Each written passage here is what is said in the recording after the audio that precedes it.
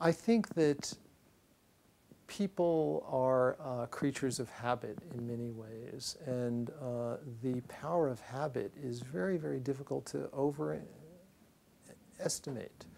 Um, habits are uh, uh, are inculcated over many years of learning, and uh, habits are very difficult to change. Uh, one of the reasons habits are so difficult to change is that we are often unaware of those habits when they actually occur. We may become aware of them at a subsequent point in time or as a function of the consequences of those habits, but the very habits themselves, almost by definition, we have relatively little awareness of. Uh, and that makes it hard to change. And so intellectually, a person may know that this would really be a good thing, or you can take something that very clearly is deleterious to a person's health, like cigarette smoking, where the scientific evidence is incontrovertible that cigarette smoking is bad for your health.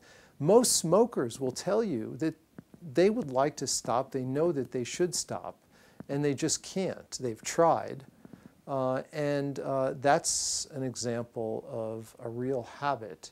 Uh, and those kinds of habits are very, very difficult to change.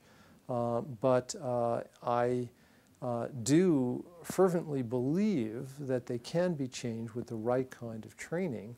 But I also hold to the view that there are, no, there, there are not going to be magic bullets. Um, Americans in particular are always looking for a quick fix.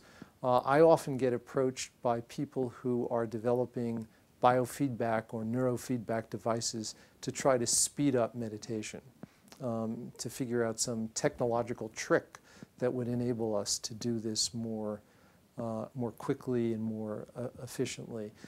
The fact is that um, Buddhist meditation practices, for example, have been around for 2,500 years.